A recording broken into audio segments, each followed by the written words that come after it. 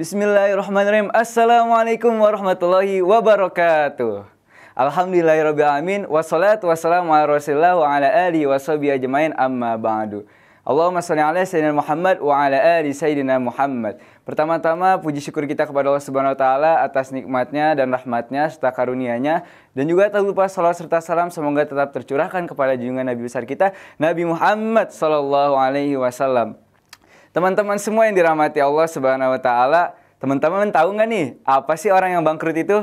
Mungkin dari teman-teman sebagian ada yang mendefinisikan orang bangkrut itu orang yang tidak punya duit, orang yang dulunya orang kaya, terus karena bangkrut atau semisal ada kegagalan di usahanya, jatuh dan tidak memiliki uang lagi. Mungkin teman-teman semua ada yang merasakan seperti itu untuk mendefinisikan arti dari orang yang bangkrut. Tapi Rasulullah Shallallahu Alaihi Wasallam bersabda dalam hadis riwayat Muslim nomor 2581 Ketika itu Rasulullah Shallallahu Alaihi Wasallam sedang berceramah di depan para sahabat ya, sama seperti kita. Ketika ditanya, wahai para sahabatku, apa sih orang yang bangkrut itu?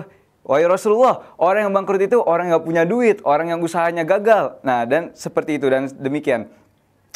Tapi Rasulullah SAW kembali berkata, orang yang bangkrut itu orang yang nanti ketika di akhirat membawa segunung pahala. Pahala sholat, pahala zakat, pahala puasa, dan pahala lainnya. Namun ketika ia ingin dimasukkan ke dalam surga, ada salah seorang yang menahan orang tersebut. Wahai Allah, jangan masukkan dia ke surga dulu. Dulu di dunia dia sering mengejek-ngejek saya, dia sering memukul-mukuli saya.